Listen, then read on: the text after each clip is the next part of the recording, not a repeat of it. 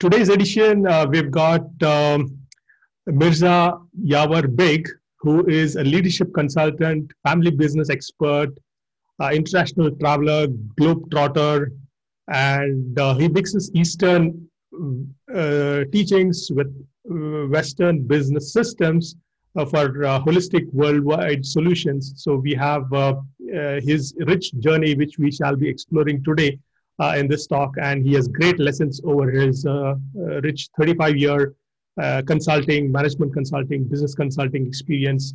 And uh, we shall listen to Sir Mirza Yawar Baig's experience. So over to you.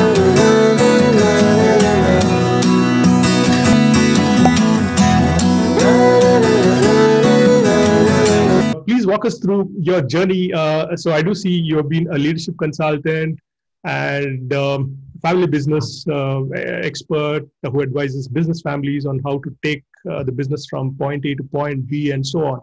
And that apart, you also mix, uh, uh, you know, uh, the teachings for a balanced world, which combines the best of East and the West. Uh, so how has uh, all of this started? So, uh, like, you know, how, how walk us through your journey? I could see that you also had a stint at uh, Tea Estate, uh, Tea Estates as your uh, in the starting of your career. so, how was it? How did it all start? Thank you very much, Mr. Divakaran. First of all, for this opportunity to talk to you, and it's a wonderful opportunity. I'm honored that you consider me to be worth talking to, and it's a it's a very nice opportunity. Um, now, question is, how far back do you want me to go? Because I'm uh, on the 20th of October this year, I will be 65. So it's yeah, it's probably a, you can uh, zip us through your journey, uh, the important milestones, and uh, especially the light bulb moment as to, uh, you know, I also uh, chanced upon your uh, videos on YouTube or probably your blogs where you said, I wanted to be a leadership consultant way back in the day even when you're not doing that as your profession, uh, like the primary bread and butter of your life. And so, what made you trigger and take that uh, moment of uh, like, you know, how, how is that calling there so strong in you that you know you want to do, be a leadership consultant when uh, you had uh, nothing of that kind of background to your backing? Uh, so, you could walk us through the important milestones which has taken you there. Okay, so I'm going to try and do a very quick thumbnail sketch of all that.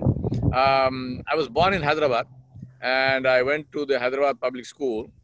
Uh, and then from there, I went to, uh, I, I, did my BA in history, political science, and Urdu literature uh, from Osmania University. So that's uh, in, a, in, a, in a thumbnail, my childhood the interesting, the important and interesting thing about my childhood was that we grew up in Hyderabad in a culture which was so completely uh, eclectic and so completely inclusive uh, that uh, it's, um, I'm sad to say, not uh, that common today. I mean, you know, I, I, don't want to start off on a complaining note, but the, the but the, uh, for example, I mean, one of the things was that um, you know our friends who were there the thing about, I, I will not say that uh, most of our most or uh, you know a great many of my friends and my parents friends uh, were not muslim. They were you know hindus and a couple of christians. Uh, i won't say that because the reason i won't say that is because for us the religion was never mentioned. Uh, nobody asked that question. You know neither nobody asked and asked asked that question nor was that question asked or spoken of in our home. So that was the general uh, very inclusive, very um, affectionate kind of uh, uh, atmosphere of uh, in which I, I grew up uh, through my school and college and so on. Then I had an opportunity when I finished my college. I had an opportunity to go to Guyana to South America. My father was a medical doctor, and he was there on a on a uh, for a short assignment. So I went for a holiday and I stayed on in Guyana for five years. And I lived in a place called Kwakwani, on the Berbice River, uh, which was literally in the middle of the Amazonian rainforest. Oh. And I worked for a mining company. I worked for a bauxite mining company uh, for five years.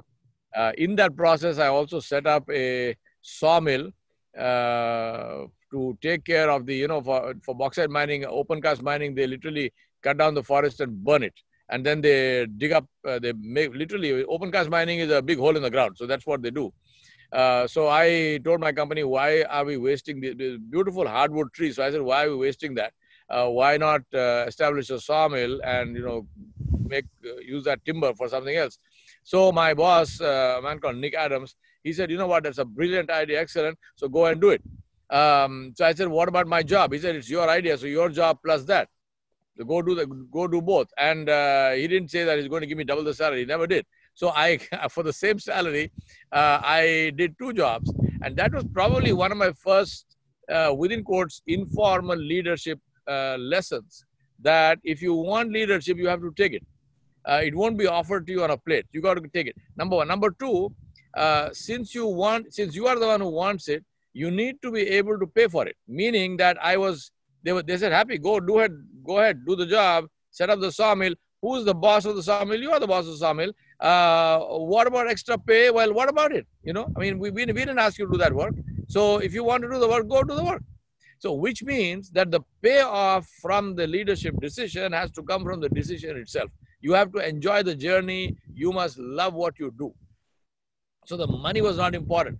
Uh, money is always important, but the point is that I did not do that for the money because I never, I didn't get one single uh, Guyana dollar extra for that. But I had a time of my life because I was doing a full-time uh, my full-time job as assistant administrative manager, uh, and it was a mining town, so the company owned everything in it, and which meant also that the company was responsible for everything. If somebody's toilet got blocked, it was the company's job.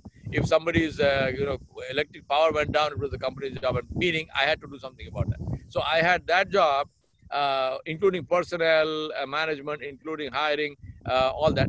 Plus, I had this. I started off the sawmill, so about, about three to four, three days in the in the week I would spend in the bush camping in the in the rainforest, uh, and uh, other four days I would spend in the within town. And if you if you look at Kwakwani, it's uh, we are not, we are not looking at uh, Mumbai or Delhi. You know, it's a, it's a tiny little village. In, in our Indian context, it is a village. It's not even a town. So it's in a village on the bank of this river in the middle of the forest. Anyway, so that's what I did. I spent five five years there. Then I, I just got too lonely. I mean, it was um, you know, it, it was good. But uh, I also knew that Guyana at that time uh, was a communist country. Uh, and uh, to get anywhere, you needed political connections. Those I didn't have. So I knew that this career was me.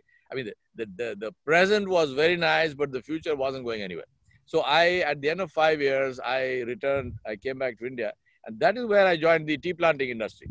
Now, tea planting again was an old love of mine thanks to thanks to one of my uh, very dearest, very very dear friends who just passed away last year uh, from Hyderabad, Nawab Nazir Yarzak.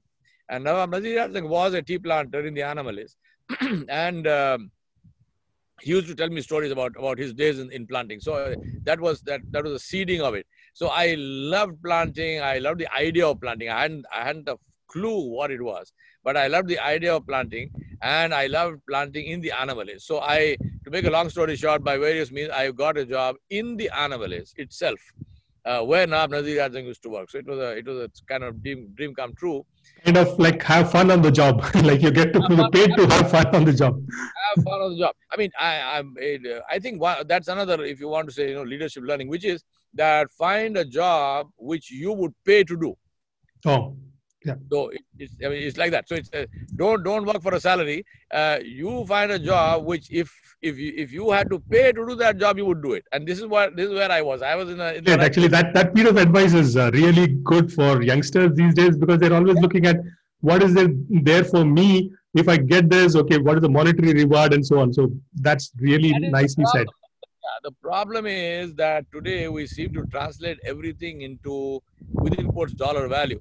But um, in my experience in life, uh, anything which is valuable cannot be paid for in dollars. Meaning not just U.S. currency, I mean any currency, right? Uh, anything like like friendship, like like like you know the, the, the love of friends, the respect you get in, uh, from people, uh, you know the, the, the, the warmth of, of company, the taste of good food. I mean, this, these are not things that you can pay for. These are things you are. So in life also, uh, the secret of success and happiness in life is find something that you love to do. Then how much you get paid won't matter. and uh, you will get paid. I mean, the, I always tell people the natural consequence of good work is good remuneration. They, don't worry about that. You will get paid if you are adding value to somebody. They will pay you, whether it's an employer, whether it's a it's a client or whoever. So focus on adding value. Don't worry about how, how much am I getting paid. Focus on adding value. People will pay you. I have had I have had clients, not too many. As a matter of fact, just two but two of my clients, one of them, when I gave him my bill at the end of an assignment that I did, and this was in Bangalore, uh, he returned the bill. So I said, uh, What happened? I, I'm, I'm sorry, is there a problem? He said, No, this bill is too less. He said, The kind of work you did for me, this is not this is nonsense. So please, you know, uh, raise a higher bill. So I said, This is what I normally charge. He said, I don't care. I'm not paying this amount. You, you give me a bill for more money. So I gave him, he paid me. Another one in South Africa, I uh, did a did a job for them. I sent uh, the bill, and they sent me back an amount which was 25% higher. So I said, I'm sorry, there seems to be a mistake in this uh, check you have sent me. It's uh, numbers. They said, no, no, no mistake. We and he said, you know, I have given you 25% more. What you did was worth much more. But he was a Gujarati. He said, but I'm a Gujarati, so I'm, I'm giving you 25% more. So I also have to feel feel good that I got a good bargain. So he said, even though what you did was worth much more than that, I'm giving you 25%. So, I mean, this is uh, the, if you do good, focus on the work, nothing else, and focus on doing something you enjoy. So that's why I joined uh, planting. I was in, in tea for 10 years. And that is where now the question you asked me about the light, light bulb experience and so on. So I, jo- I joined tea in 1982. In 1983, I went to um, I went to Jaipur to participate in a uh, applied behavioral science program. Um, the, uh, the institution was called the Indian Society for Applied Behavioral Science, ISABS. So ISABS had this program. I went to participate in that. There, I'm I uh, the facilitator, the trainer, the teacher was Mr. A.D. Joshi, Mr. Arun Joshi, um, who's currently in, uh, he lives now in Pune, he's retired in Pune. So Arun Joshi was there, and I saw the work that Arun Joshi did, meaning on myself as well as the other people in the lab. And I saw how hugely impactful he was and how enormously his uh, facilitation and his teaching helped me. So I thought to myself that this is what I want to do. So Arun Joshi was the light bulb. I mean, Arun Joshi was my inspiration. So I said that this is what I want to do. This is what I want to spend my life doing. I want to do something where I'm helping people. And obviously, Arun Joshi was enjoying what he was doing. So I said, here's the man. He's happy doing what he's doing, and it's also helping people. Uh, so he's uh, he, he's on the sweet spot. You know, he's got both both ends uh, taken care of. So that is where the inspiration came. Then what I did was that um, had this four-year internship program now, the way it was run, ISABS was, a, was populated at that time anyway. Uh, the entire board was all professors, were all academicians. So these people, I mean, the, it, it, was like a PhD program because they were from big universities. Uh, what that was their framework. Uh, Gauranga Chattopadhyay, uh, there was uh, Somnath Chattopadhyay, uh, you know, all of these big uh, Abad, Abad Ahmed and uh, Udai Pareek and Udai Pareek. Uh, so which university was this? Uh, CSAM. Uh, called the Indian Society for Applied Behavioral Science. Oh, okay. I, Does it still exist now? Yeah, yeah, very much is there. Yeah. Oh, okay. It's, like, it's, more, it's, more, it's more like, I mean, to give, an, to give you a, a comparison, it's more like the uh, Chartered Accountants Institute. It's not a okay. university. Okay. It's okay. a private body which uh, certifies you in a particular way of uh, training.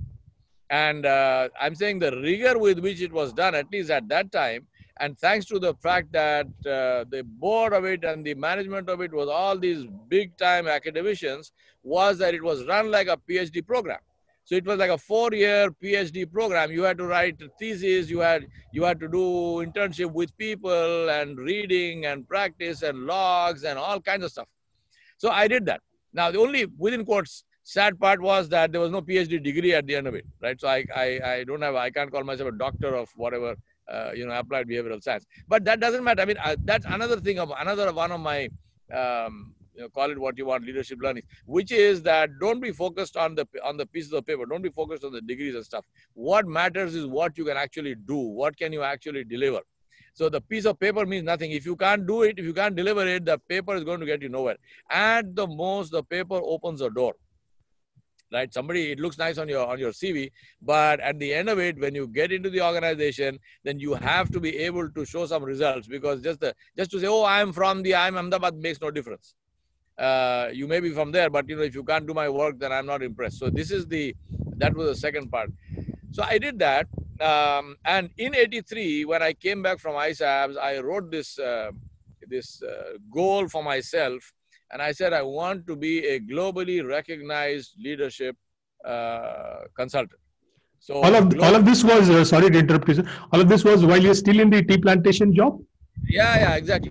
all okay. this was while I was still in the tea plantation job, and that was uh, that was uh, you know within quotes uh, surprising for a lot of people, for, for me also in a way, I guess, because I was think about it. I was in this job the tea plantation job is a 24-hour job. It's you know we used to work 24/7 before they invented the term, um, because we were we we, we had our uh, you know uh, eight 10 hour work day plus we were on call the rest of the time. So we were there 24 hours. Um, on top of that, locationally, I was in one of the most beautiful places on the on the planet, but also one of the most inaccessible, because the top of the Anamalis where I was uh, you had to go up 40 hairpin bends from uh, uh, to get to the top there, and then you have to drive another one hour across to Shekalmudi where I was. So one of the most inaccessible. So now, when I decided that I want to be a leadership trainer, I said, what do I need to do? I, I need to learn how to do leadership training. So I said, okay, so who teaches that? Short answer, nobody. Is there a degree? Even shorter answer, no. Is there a degree even today? No. So what to do? I, what I had to do was effectively find people like Arun Joshi, like whoever who were already in that work and say, please, can I come and sit in your class? Can I be a fly on the wall? Can I just come and sit in the class, watch what you are doing, take notes, and then will you spend an hour with me, half an hour with me at the end of the at the end of the session, and we can uh, do some, uh, you know, uh, I, I, can, I can uh, sort of feedback to me uh, some debrief uh, so I understand some of the things you did, why you did that, and so on and so forth. And then I go away, and next morning I come back to your class. So many of them uh, were very kind. They said, Yes, please do come. Now, what does that mean? It means that I pay for my transportation, I pay for my local uh, you know, accommodation, I pay for my food or I fast, whatever the case might be, and I go to their class and I do. I am the I am the go for kid in the class. If the teacher needs water, I go get the water. He wants tea, I go get the tea. I clean the blackboard. Those were we didn't have a white we didn't have whiteboards in those days. It was blackboards with chalk, uh, or we had charts, uh, you know, chart papers and flip charts. Right then came the you know, you remember, I'm sure uh, the, the those uh, transparencies which we would put on those uh, overhead projectors, right? Correct. So, yeah, long before laptops. I mean, what sat in your lap at that time was not a computer. So, I mean, the the uh, things uh, that, I did all this. I have traveled third class train, uh, which means a plank, um, bus, regular uh, transport bus, not even a luxury bus. And I, uh, I've stayed, I've stayed in hotel rooms where you would not put your dog. I mean, such, and no reason. I mean, not that I loved that uh, hardship. It, that was all the money I had. I was earning in the in the tea garden those days. My my starting salary was 850 rupees. Now, 850 rupees in 1982 was not equal to what it's today. I know it was worth more, but it was still not I was not a millionaire. It was 850 rupees, and that went up to 1100 rupees. In um, 1993, I retired as uh, the uh, the manager of uh, New Ambadi Estates. I was effectively the general manager of two estates, three factories, and a school. And my my last salary was 5,000 rupees. okay. okay. Right. I mean, today today you offer 5,000 rupees to a youngster, he'll think you are insulting him. So. so my, my, my, in Hyderabad, my driver earns more than that, believe me. Correct, correct, correct, correct. correct. You get more than double that. Anyway, that's that's not the point. The point I'm saying is that uh, so I was in this place when I decided. So I wrote these things. I want to be a globally recognized leadership uh, consultant. So I said, now how to do that? How to learn training? This is how. So I had a roster of uh, people who were willing to train me on which days they had their trainings in which cities and whatnot. So that was one. Second thing was to get leave because I was entitled to 30, 35 days of annual leave. That was it. Now, going somewhere on a weekend was, uh, first of all, I, I, was I was on call. The tea, tea planting job, you're on call throughout. So there's no, you have to, even that weekend, you have to take it off. But even if I took it off, first of all, the weekend in those days was only one day because Saturday was a full working day, only Sunday. In one day to go and come back was impossible, physically impossible, right? I, if I, unless I had a helicopter, which I didn't have. So it meant that if, that my time for learning had to come out of my annual vacation. So from 1983 to 1994, when I finally launched Yawar Baig and Associates in Bangalore, I did not take a single day's vacation. Oh. Yeah, entire period, not one single day's vacation. Number one. Number two, all the extra money that I had, whatever was saved, plus I used to get uh, an annual travel uh, allowance, which was at that time it was first class train fare from Coimbatore to Hyderabad. That was my my home uh, thing. That amount of money plus whatever I could save entirely went in my traveling back and forth to wherever I was learning from. Right? So we had no television, we had no no frills whatsoever. Now, thankfully, my wife is a huge, huge supporter of mine all the time from the day we got married in 1985. So throughout that period, she would go off to her parents' place. I would be uh, I would be going, you know, shunting from this city to that city, uh, working with uh, different people. So this is what I did. That is how I got my, and then through that period was the four years of ISABS, um, of the Indian Society for Applied Behavioral Science. So in uh, at the end of that four years in 1987, I got my ISABS professional membership. So it's like the like the CA getting qualified again. Oh.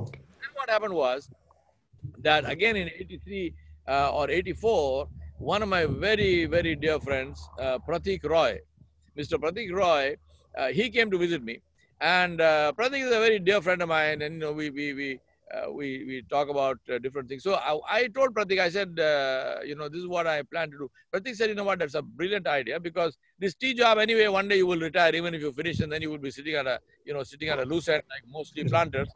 Um, so instead of that, uh, now this is something you can do all your life. I said, true, that's that's something that I want to do all my life.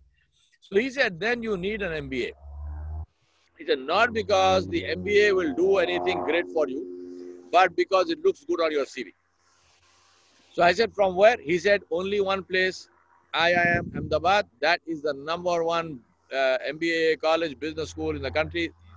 No point in getting it from a second-rate place because it has it has anyway it has no meaning. But second-rate place it has zero meaning. So get it from the number one place because it looks good on your CV. I said, okay, fantastic. So that was my next goal. Problem, MBA, PGDM is a two-year, full-time two-year program.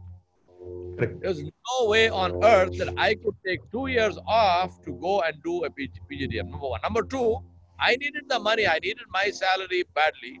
So there was no way I could resign the job, go do a two, two-year PGDM, then go look for another job. All this was not doable. So I said, now what to do? So I decided that I will find out. So I did some research. I found out that I IIM Ahmedabad at that time had the equivalent of an executive MBA, which they called the MEP, which was a five-month program. Now, the five-month program, but the, the, the, the hours were grueling. It was five months of solid work, no holidays, not even festival holidays. And there was no Sundays, no nothing. They, they, they, they taught you throughout. And the average uh, teaching hours uh, were about, uh, you know, between 14 to 16 hours a day, plus you had study. So I don't think in that five months that I slept for more than about three hours or four hours maximum on any night. And so it was on it was on campus. On campus, on campus, full time. Oh, okay. And uh, and many nights we didn't sleep at all. So I mean, many times we went 48 hours without sleep because the next day we had a we had a training program. Uh, we, we had a we had a class and we had a CP. We had a class presentation to make. There would be the the, the, the professor would you know take our pants off. So we had to be very very uh, you know clear. The, the what I was looking for was what was the content of this MEP and who was teaching it. And what I discovered, and that's what gave me a lot of satisfaction. One was the content was the complete PGDM syllabus. Number two was including all their case studies, everything, right? The, what they were teaching normally in two, in two years, they were teaching in five months. Second thing was all the professors were the same. Now that was very good because I said, okay, we're getting the same quality of instruction, you're getting the same content. Uh, interestingly, the fee was also the same, and that was 30,000 rupees in those days. Now, 30,000 rupees was 30,000 more than I had. I mean, it was it, it was an impossible number. So I said, okay, no. Uh, now what to do? So I went to my house. You know, you, this, this is the thing in, in terms of challenges. Take it one at a time. Number one. Number two, my principle in life, no does not mean no. No always means not yet or not in this way. Right? So we say, okay, I want to be a leadership consultant. How can I be? You can't be. Is there a training program? No. So what, what is that? Doesn't mean no. Doesn't mean it means there is no official formal training program. It doesn't mean you cannot learn. Right? Learning and having a degree are two different things. So in this case, I went to my company and I said, well, uh, this is the program, so on, so on, so on, blah, blah, blah. I will come back and I will be, you know, hugely educated and so on. I'll, uh, you, they said, okay, fine, we heard all of this before. Now, what is it you want? He said, I want 30,000 rupees. I want you to sponsor me for this program. That's another learning. Always ask for the best. Don't, don't, don't uh, answer their questions before they ask the questions, right? Because it is possible that somebody might say, you know what, you're a fantastic guy. You want to be sponsored. I think it's a great thing. We are sponsoring you. Goodbye. Now, please go ahead, right? We, we, we pay for the whole thing. They could have said that. And if I had begun by saying, can I do this much, that I would get less. So I said, no. I, can you do that? So they said, no. Sorry. can't sponsor you. Now, there is a no. Did they say I can't go? No, they didn't say I can't go. They said they will not sponsor me. I said, okay, no problem. So you will not sponsor me. Can I go? They said, yeah, sure, you can go. I said, how can I go? It's five months. They said, number one, um, out of five months, one month we'll take it out of your annual leave for that year. Other four months, leave without pay. Are you, are you willing? I'm already getting only 850 bucks, right? Leave without pay. I said, yes, I'm willing. So four months leave without pay, one month annual leave gone, right? That was one. Secondly, they said, I said, what about the fees? They said, what about it? I said, okay, so you're not going to give it to me. Will you give it to me as a loan? They said, sure, we'll give it to you as a loan, 8.3% interest. Pay it back and write a bond to say you will work for us for three years after you after you return. So that meant that they saw value in what I was doing. Otherwise, why do they want me back for three years? So they saw hmm. value in what I was doing, but they were not willing to pay for that. They said, okay, you are serious about it, you pay for it. I said, no problem. I said, very nice. So I went off. There was a test and whatnot. I passed that. I went off, uh, did that program. My wife went away to her parents' place, and in that in those days, her parents had moved to the UK. Okay. Had settled in the UK. So she went off to the UK. Now, what did that mean? That meant was, and you know what? Interestingly, the program started in April 1985. I got married in March 1985. So the program started one month after I got married. So one month after I got married, my wife was gone for five months and she went to the UK because that's where her parents were and I did not even have the money to make an international call to speak to her. WhatsApp, those are the days before WhatsApp. Those are the days before Skype. You know, before this uh, Zoom, before nothing. So I didn't see her, and I didn't speak to her for five months immediately after getting married. After one month, I'm I'm saying that if you want something in life, you have to pay, and many times the payment the non-monetary payment is much more difficult than the monetary payment. True, true. Your partner to it's very difficult to convince your partner to agree to your way of thinking when somebody very, stepped in completely new. Very, I'm telling you, I, I'm hugely grateful for for the fact that I have a wife who, you know, she alhamdulillah, she understood everything and she was always and she continues to be very very supportive. There's no way that i could have done what i what i did without that support. I mean absolutely no. I'm not being polite to some this is the this is the truth. Then i came back spent uh, another uh, three years uh, and more than three I, I spent uh, about six years so in 1993 Uh, then I decided to leave planting. I left planting. I spent a year in Delhi. I was uh, uh, I was heading the uh, travel in inbound tourism business of uh, DHL, and then in 1994 I came and settled down uh, in Bangalore. The reason for Bangalore, I'm from Hyderabad. had settling down in Hyderabad would have been easier, but that's another leadership learning. Never take the easy choice. Always take the choice which is best for you, and then you know work hard to beat that. So I came and settled in Bangalore. Uh, because Bangalore was where the action was happening. Bangalore was where the multinational companies had come. Now, I don't know, the, the, the legend goes that uh, companies was were uh, looking at Bangalore and Hyderabad. At Hyderabad, at that time, N.T. Ramarao was the chief minister of Andhra Pradesh. And N.T. Ramarao had brought in prohibition. So there was no liquor to sell in Hyderabad. And Bangalore had a, had a pub on every turn, every bend. And people say that that's the reason why multinational companies came there. I have no idea whether that is the actual reason or not, but that's where the MNCs work. Um, now, training, because leadership training, uh, in those days, I mean, you will laugh if I tell you the story, but in those days, if you went to an Indian business owner or an Indian CEO, and if you said to him, uh, "I do leadership training," you know, I uh, I'm in the business of leadership training. Uh, I want to uh, train your people to be leaders. Uh, standard answer was हमको कोई leader शीडर नहीं चाहिए भैया correct absolutely union वाले बहुत है हमको नहीं चाहिए for them leader was they say we don't need leaders because leaders were people who were they equated them with union leaders say no no no we don't want union leaders you are a troublemaker we don't want you in, the, in our place right so that was their standard thing so i remember still um, uh, one of the one of the business owners he said to me अच्छा तो आप क्या सिखाओगे? What will you teach them so I said to um I said उनको काम अच्छा करना सिखाएँगे. Teach them to work work better he sir काम तो कर रहे हैं, इसीलिए तो हम हम उनको पगार दे रहे हैं. He sir they are working that's why we paying them what you going teach them right the whole idea of on the job training, of of personal development was simply not there. Right? It simply didn't exist. Um, so people, people actually, the language, people used to ask, how many hands work for you? This was language. This was actual standard. You know, people how many hands work for you? I, I have a job. I have got 200 hands working for me. I mean, hands. They didn't say 200 people working for me. 200 hands working for me. This was the language. So anyway, when the multinationals came, a lot of that changes, if not changed, changed if not all, and a lot of the Indian companies also became very training and people development oriented. But originally, it was MNCs, and a lot of the MNC training was they had standard courses back home in America or Europe or wherever, and they just transported them in India. So in the beginning, they wanted Indians to run the same course, same content, including, believe me, when I first started working with GE, uh, even the Post-it pads used to come from the US. True, true. I think I could see that uh, your profile has MBTI training. Uh, so I think, uh, did it happen at the same time?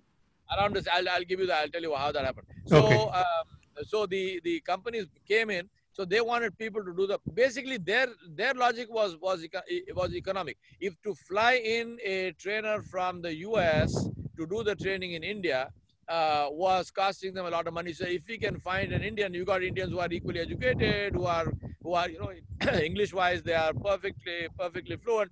So if you get an indian trainer then we are going to get the same training quality for maybe you know 150th the cost or 100th the cost. So that's what they did.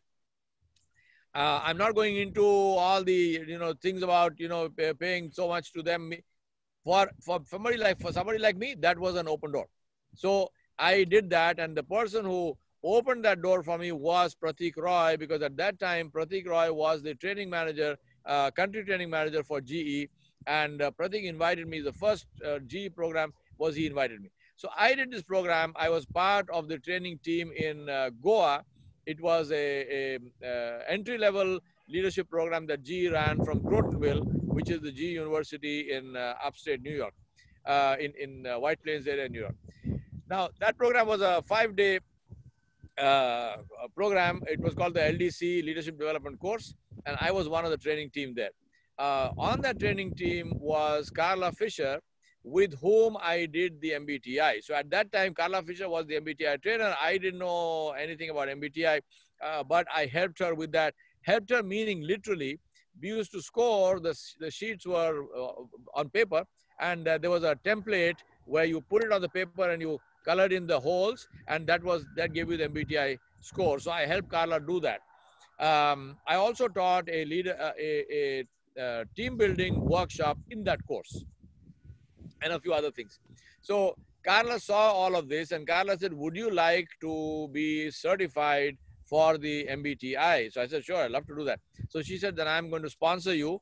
Uh, GE will sponsor you to go to Fairfax uh, Virginia to Otto Kroeger Institute and get certified as an MBTI trainer. Once again, from their perspective, they had an MBTI, they would have an MBTI trainer in G, in G, in India, uh, which made sense for them. So I was flown out.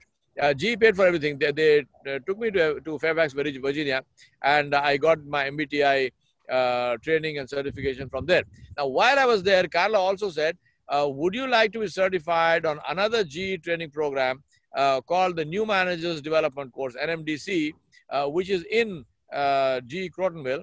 So you go and audit the course, sit there, and they will certify you on the course. So now you can teach that course also in India and anywhere else in the world. So I said, fantastic, great opportunity.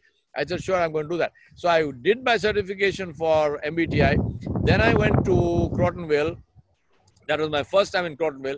Uh, I went to Crotonville. Uh, I audited the MBTI, the, the, NMDC course, New Manager Development course.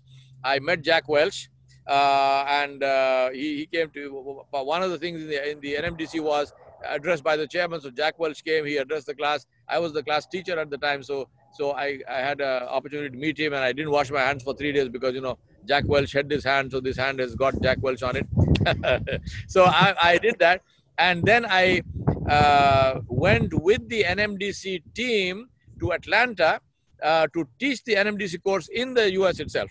So we ran the course, five day course. So five day course here, uh, auditing the course, learning the course, certifying, getting certified on it. Went to Atlanta, taught the course. Uh, it's a fantastic trip, beautiful trip, and huge learnings in terms of collegiate working, relationships, so on, so on. Huge learnings in terms of the difference in culture between uh, between America, between GE and India, and so on and so forth. Uh, wonderful. That's that's why I'm able to bring these two things together. I mean, my my uh, life of living in two worlds began with that. It's very very uh, very enlightening for me and very enjoyable for me. And then I returned to India. So this is uh, this is where it started. And then of course uh, we started this company in Bangalore, Yawar Baig and Associates. First year was very very tough because you know i came from a manufacturing background from tea gardens uh, mining industry whatnot. I know how to drive a bulldozer. I know how to drive a front end loader. Uh, i can climb trees. I can dig holes. I can i can run a tea garden. Uh, but i have zero contacts. And at that time now i have huge contacts. But in those days i had zero contacts in hr in training. Uh, in the corporate world i knew nobody. Right and uh, so even my, a lot of my friends, they told me you are mad. I mean, there's how will you get big? You don't know anyone in the in this in this whole thing. I, yeah, I don't know. At that time, there was not even any social media. Also, like you can't uh, put an ad, you can't run a Facebook thing, nothing. Yeah. Nothing, nothing. No social media, no LinkedIn, no nothing. Right? Yeah, it's so almost difficult. If you don't have conflict contacts, you're almost uh, not in business. you're almost not. Yeah, exactly. All not in business. Right. Um, so I the, the, interesting thing was, but as I you know I I tell I always tell myself if you if you do what you do and you love doing it and you do it well, doors always open. My first my first literally my first assignment in Bangalore was in in a company uh, which was a European uh, IT hardware company. Uh, it was run by a uh, by a Indian CEO. Um, whose only name was Indian, right? Uh, he was born, brought up, grew up, everything in the U.S. So he was in the he was in this company. Now the, the issue was the the head of training and the head of HR actually of that company was a, was was somebody I knew. Uh, so he told me, you know, our our CEO is having a lot of trouble with his direct reports. So I said, what happened? He said, you know, let, just to put it in one line, we have an American in an Indian skin. That's the problem. Right? So he looks Indian, but he is American. They think he is Indian, and there is a huge There's a huge problem. And he says, Really, we don't know what to do. So can you come and help us? So I said, Okay. So I went there. um, I had a nice, big, long meeting with him. And uh, at the end of the meeting, I said to him two things. I said, number one, I want to sit in one of your meetings to see what is going on. I said, I've heard, I've heard you talk about it. I've heard your head, head of HR talk about it.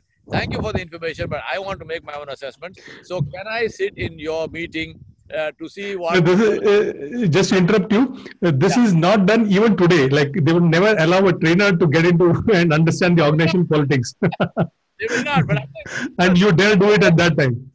yeah, this is the whole. Thing. I always tell people, forget the rules. You can get what you can convince people to do. Simple as that. True. Right? true. Oh, life is not fair. I said, life is never fair. Right? You will get what you can negotiate. You get what you negotiate. You get what you can what you can convince. So I told him, I said, I said, if you want me to give you a good solution, I let me sit there. I will do it. And it's a mark. I mean, I'm, I'm very, I'm most grateful to God and to everybody else. You know, I, even despite that, I'm asking him to sit. In, I'm asking him to allow me to sit into one of his and he, this is a top board not one one step short of the board meeting it's like the internal board meeting it's all his heads all the vps right now, the point is, is not only he has to accept me, they all have to accept me. Being there, number one. Number two, they are not, they are going to have the normal discussion. So I am now an outsider and I am within quotes privy to whatever they are discussing there. They did not even ask me to sign an NDA, non-disclosure agreement, nothing. Hmm. There was complete trust that you are here and we trust you. And without even saying that, I didn't tell them that, they didn't tell me that.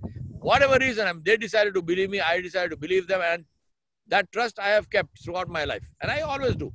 So, anyway, I sat in the meeting and I realized what was happening. Just to give you a thing, they were discussing a matter of some financial thing which they needed to do. The head of finance, he said, Sir, I think this is what we need to do. Now, this uh, CEO, he slams his hand on the table. He said, Fantastic, brilliant idea, excellent idea. Then he says, okay, what about the others? Can I have some more ideas? Now there is dead silence. Dead. Nobody will say a word. Dead silence. So I knew instantly what was happening. Now I saw him getting now getting agitated. He, he was getting like, you know, come on, man. I mean, you know, I'm asking you, tell me. I said, look, uh, can we take a break? I said, can we go, can we go have some coffee? He said, okay. Now it was like a lifesaver for him, you know, because this is getting too bad. As soon as we went out, I, I pulled him aside into a room. I said, did, I said, did you see what you did? He said, what did I do?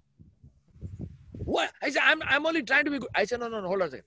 I said, you as the CEO, when one man gives you a, the finance guy gives you an idea. I said, very nice, you approved of the idea, but the way you approved that, you put such a stamp on it. Now, who wants to go and give an idea which is more than likely going to be less than that? They don't want to look bad. So what happened? You, you already said fantastic. He said, yeah, but you know, in America we say fantastic. I say, yeah, in America you say fantastic. In India we don't say fantastic. In India we do not say fantastic unless it is super fantastic. Right? So his style of uh, leadership was not collaborative. He is not taking people along. Not taking along. So uh, he said, okay, so he said, what to do?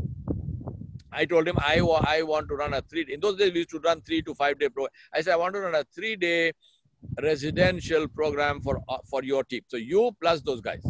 Right? He said, okay, great. That way he was agreeable because he was used to the American system. So he said, no problem. We, we'll agree. We do that. Uh, what will you charge? In those days, I was charging 500 rupees per day. But uh, sir, one sorry to interrupt you. How did you get to know this person? Actually, how did you come across him? Him I came across through another friend of mine. Uh, you know, socially, uh, there was a friend of mine in, in Bangalore. So he told me he's working for them. So he said, you know, this is what's happened. So it was a very informal uh, kind of uh, kind of introduction. So anyway, I was charging 500. So he told me, he asked me, he said, tell me, how do I know this will work? I said, you know what? Even I don't know if it will work. But we will try. So he said, you want me to risk? I said, yes. And I'll tell you what I want you to do. I said, I want you to risk. If it doesn't work, if you don't like the program, pay me nothing. Right? So that is my deal. So I'm charging you this, but I will not give you an invoice now. I'll give you an invoice at the end of the program. If the program, if you don't like the program, if you think it didn't work, then charge me not, and then I will not charge you. So it, it's free. Right? So you just had three days, call it a holiday, whatever, that's it. He said, if it works, I said, if it works, then I want you to I want you to do two things. He said, what? I said, I want you to pay my fees. And I want you to pick up your phone and call your friends and tell them that here is this guy in the market, use it. Fantastic. So that, that is something nobody ever asked him before in his life. You know, he told me later on, he said, you know, no one ever asked me this in my life. I said, yeah, because I need it. I have no contacts. I have no network. I need somebody to be my ambassador. And who better than you as the CEO of this company? You, you are in the top of the top, right? So if you are going to pick up the phone and call someone and say, you know what, Yawar Baig is here in the market. We used him. We love him. Brilliant guy. Fantastic. Hire him. I am hired already. Correct, correct. He said, okay, deal. We never looked back and he was good for his word. Believe me, I mean, that was man. I, you know, he's a wonderful guy. He, he was good for his word. He picked up the phone. He called the head of Wipro in those days. Wipro was anyone in IT in Bangalore went through Wipro at some point in time. He was a doorman or he was the he was a tea maker. He was whatever he was. You know, everyone. Wipro is the is the mother lord of all IT people in Bangalore, right? So he for, he called Wipro. He called Infosys. He called all kinds of companies, and you know he's talking to the top people right? He's talking to the CEO or the next level, he's talking to the head of VP or VP of, of, of training or HR. He opened doors for me. That was fabulous. The second client I had was a was an Australian company. It was an Australian bank, which was doing IT support work back in Bangalore. Now that was an interesting thing because I joined in Bangalore. I joined an Aikido class. You know the Aikido, the the, the Japanese uh, martial art. Okay. So I joined an Aikido class. The trainer was an Australian guy called Julius Abe. So Julius Abe was my sensei. And Julius and I became very good friends. So Julius said to me, he and Julius was working for this company. So Julius was an IT guy. He was an IT guy. He was working for. So Julius said to me, you know what? I want to develop a a, a program which has an IT component and it has a leadership component. We want to put this together and uh, we want to call it, uh, you know, so leadership for uh, IT professionals or leadership for IT managers or something like this, so whatever title. So he said, we want to put these two together. I want us to do this together. You do the leadership piece, I do the IT piece. Uh, and those days we used to do Microsoft Workbench, which was the which was the platform they're using. So he said, we put these two together. Um, so I said, sure, fantastic, let's do. He said, no, no, no, hold on, there's a there's a there's a there's a catch. I said, what's the catch? The catch is my CEO. He said, my CEO, he's Australian he is one of the most cranky human beings you can ever find in, the, in, in your life. Um, he, if he says yes, it will happen. If he says no, then you can go and, you know, that's it, end of the story. Uh, he's got a very, very short fuse. He's got, he's very impatient. So he's got all of these problems. So I said, what's his number? So, so I said, okay, here, here is his number. So he gave me, he gave me his phone number. I called him. Uh, he said, yes. I said, I would like to have five minutes. I said, I would like to have an interview with you. I want to present to you the work I do. I'm a leadership consultant. He tells me, will five minutes do? You know, will five minutes, I mean, if somebody is saying something like that to you, it's like an insult, right? Will yeah, I think minutes, I just uh, saw you also talk about the famous elevator pitch. Uh, so yeah. uh, the importance of elevator pitch. so I think absolutely that, that five minutes was. So you convince him in five minutes now. and and this was before I even I even heard the term elevator. I didn't even know what it was. Five minutes do. And my principle in life is whatever the client tells you, as long as it is not illegal or immoral, you say yes. So he said, "Will five minutes do?" I said, "Yes." He said, "He said 11 a.m. tomorrow." I said, "Fine." So 10 to 11, I was in his office. I waited exactly 11 a.m. I'm sitting in front of him. At five minutes, clock is ticking. I started speaking. I spoke for exactly four minutes. I said, I am done. Thank you very much. And I made to go. He said, no, no, no, sit, sit, sit. And we spoke for 45 minutes. Oh, lovely. Right? So, yeah. that, that's how good your elevator pitch was. that's how good it was. And, and, it was completely, you know, that's what I'm saying. When I talk elevator speech, I'm talking from what I did and how it worked for me. True, true. Straight anyhow, heart. Yeah. Yeah. So that was my second client. So this is how we this is how we start going business. But that one year was very very difficult because in that one year, some there were times I, I, as you as I mentioned the other day, I, we took a flat in Jayamahal Extension. Uh, this was a This was a, a building uh, called uh, Rock Cliff. And uh, in Jayamahal uh, Extension, uh, there is a park in the center. And uh, right adjacent to the park, there is a Canara Bank. And this building is, is behind uh, Canara Bank. So it's a very nice location and all that. The rent of the flat in those days was 7,000 rupees. And this is Quite high. 1994 Quite high, yeah. yeah. Quite high quite high but it was a it was a very nice location. So we went and uh, we stayed there. In that first year believe it or not Sudhakaran, there were times when three to four days before the rent was due i had no money in the bank. Yeah. Right? My bank, my bank balance was maybe god knows 100 rupees or something. But by the grace of god when i needed it it came. We never defaulted on any payment. Uh, but things were that tough i was traveling That was your office come residence or only the office? office come residence yeah Oh, okay. okay. That- that's another thing i that's another thing i learned in in life is keep your overheads as low as you can my business entirely is in the client's premises so i don't need an office i do not have any walking clients so why must i pay office rent and why must i have a secretary and why you know i don't need it so i never had any of those um, i i have no accounts person i have no finance I have a, very, uh, uh, he, he is an accountant in Bangalore, but also is a very dear friend of mine. And he's been my accountant from 1994 onwards.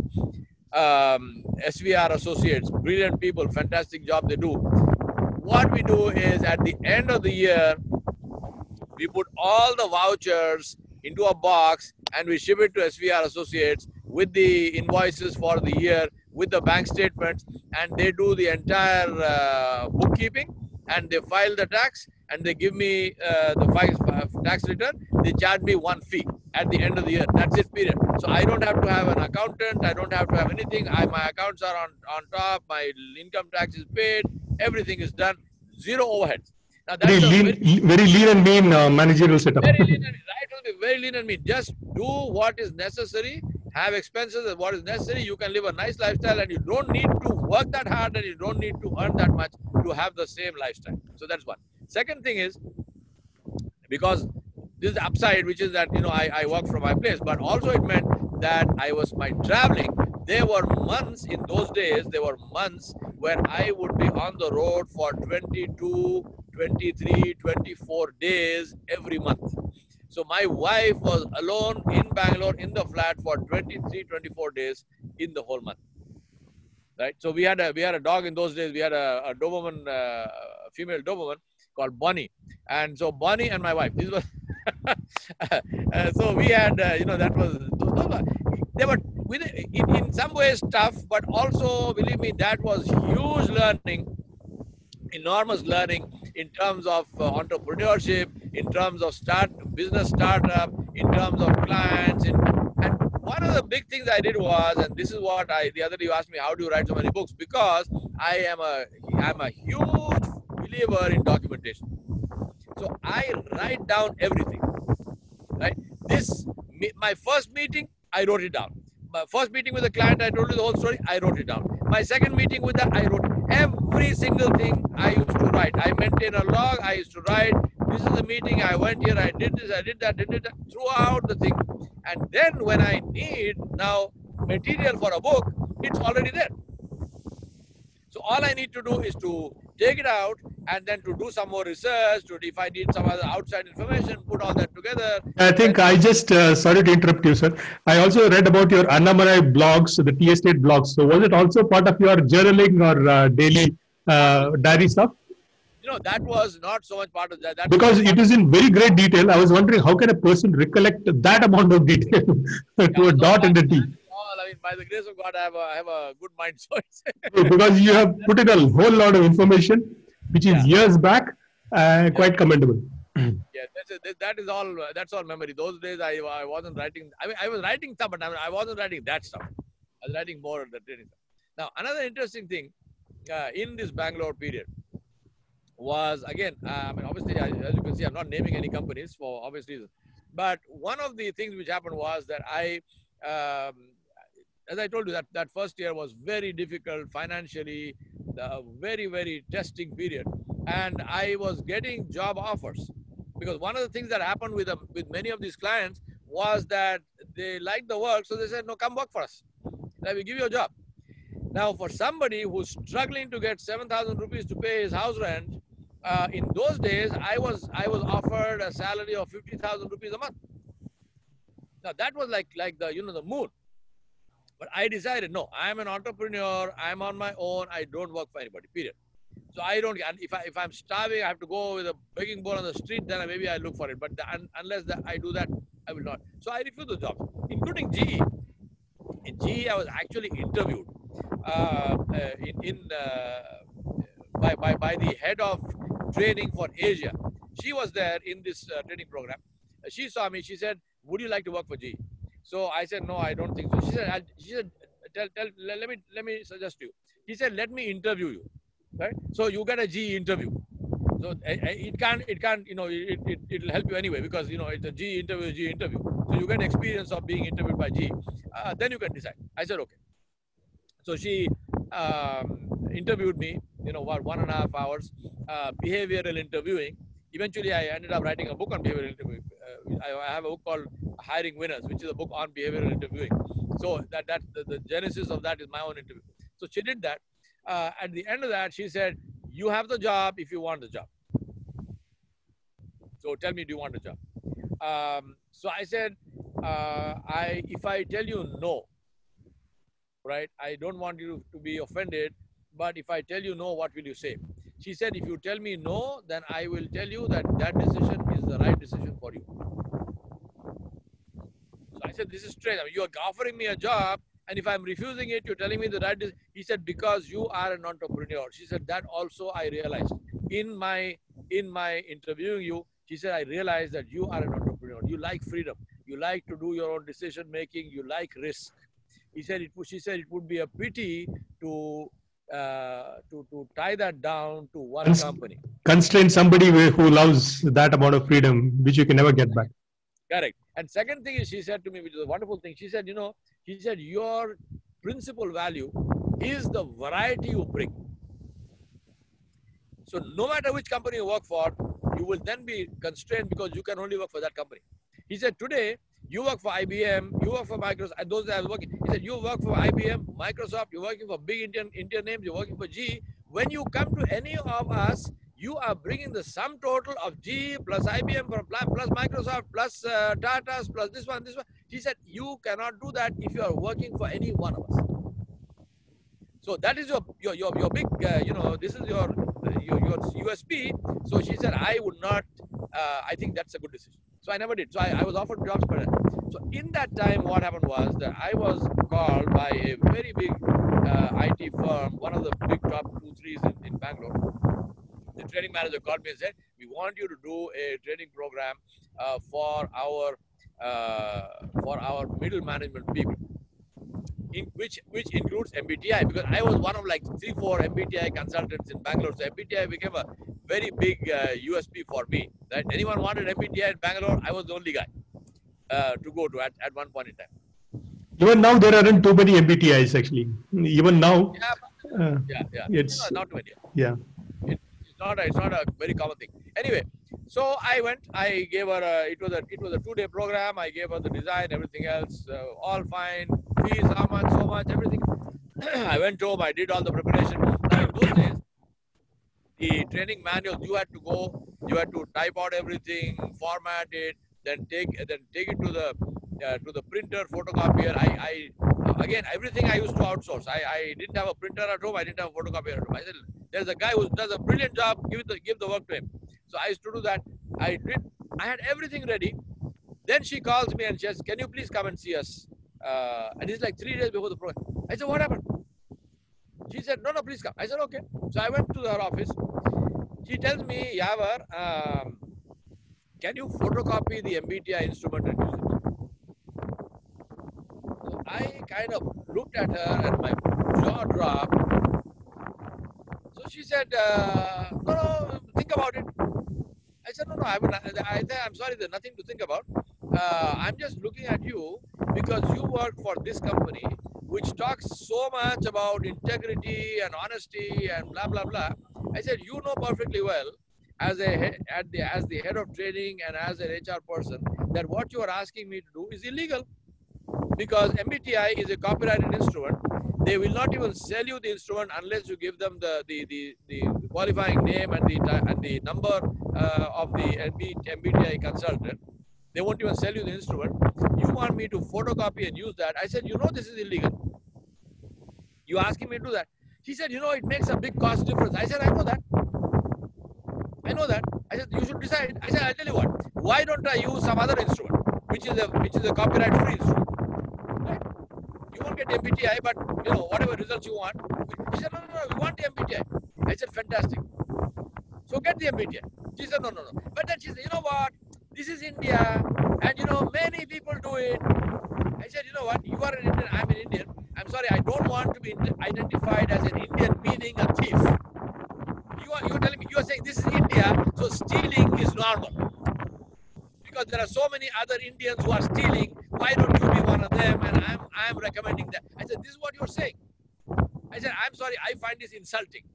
Right? I'm Indian, I'm not a thief, I will not steal. He said, you know, don't get angry and all that, but you know, the, the business we are giving you 200 people, uh, you know you need the money. I said, yeah, I know I need the money more than you know I need the money. So I think you stood your ground, and uh, that was a question of ethics. She True. said, if you if you don't agree, I'm sorry, we may have to cancel the course. I said, go ahead, and they canceled the course. Oh, okay. They canceled the course. So I lost money even in terms of the photocopying stuff. You know, I mean, in today's terms, that might not sound like much, but when you are strapped like the way I was strapped in those days. I, I totally understand. Yeah. The amount of time, energy that you spent. Yeah. Yeah, but I said I am not going to do something which is illegal, and I have never done it. I've never done it. And by the grace of God, this is this really worked for me because you know apart from anything else, I got a name for that. People said, no, no, no, we don't even ask this guy because he will not do it. To me, the the uh, for me the biggest certification was the MBTI um, uh, agent who used to sell the company used to sell. The, the head of that was a man called Mr. Ojha. So another client of mine one day tells me, um, "You want to do the MBTI," and they wanted to they wanted to do that properly. So uh, I said, "Buy the stuff from this." I said, "This is the these are the people who will sell it to you. Buy them." We finished the phone conversation. Then I and I forgot to give her the HR uh, person. I forgot to give her my uh, my, my, MBTI consultant number, which I, which the the other one, the, the client, the, the seller would have asked her for. Without the number, they wouldn't have sold it. I forgot completely about that. And then when I went to the uh, place, I then suddenly remembered, oh my God, I didn't give them number. So I called, I said, I tell you what, uh, I'm sorry, I forgot to give you the consultant number. Uh, so, uh, and I'm sorry it's delayed. Uh, what happened? She said, no, no, don't worry. They, they, they, they sold us the thing. I said, how did they do that? She said, because I told them your name. They said, we know him, no problem. We are selling. Now, that is, to me, that was a very, very big, you know, uh, validation of your principles and everything. So this is uh, this is what I did, and then it's uh, it, it, continued in 20, uh, 1997. Then. How, how was this uh, typically your uh, was it all by word of mouth like you know one client refers them or I mean how, how did your uh, pipeline of clients come along very very good question absolutely 100% word of mouth uh, until today. Oh, okay. And um, uh, in the early days, it was word of mouth in two ways. One was client refers to client.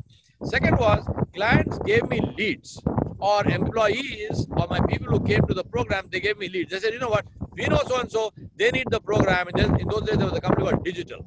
Um, so they said, uh, digital needs a uh, program. Why don't you go and, and meet digital? I would say, well, you know, who is there in digital? So in digital, those days, there was a man called UG Shekhar, who's another Shekhar, who's a dear friend of mine. He said, go meet Mr. Yuji Shekhar. So I went. Now, first time, I don't know Shekhar from anybody else. I go meet him and talk to him and so on. That's how. So the two kinds of leads. One was the client referring the referring to directly to another client. Another one was leads. But over the years, quite literally, I think uh, almost for the last maybe 20 years, um, I have never done a cold call ever. I never had to do a cold call, and I, I mean, I mean you know, it's all 100% client client referrals by the grace of God. People Uh, and now, of course, we have a website and so on and so forth. But irrespective of that, it's all client referrals. And client referrals are the best because, you know, the, the, the, the trust begins from the word go. So one client is referring to another client, so they already have a, uh, a trust base on, on which it works. And then, of course, at the end of the day, I mean, at the end of the day, quality of your work, there's nothing to replace that whether it's a client referral, whether it is uh, LinkedIn, whether it is social media, whatever. At the at best, it opens a door, which is very important. You need the door to be open, but that does not mean that you're going to get client satisfaction directly because of that. No. Client true. satisfaction depends on your own work, and that uh, that has to continue. Very true. I think uh, that's fantastic. So.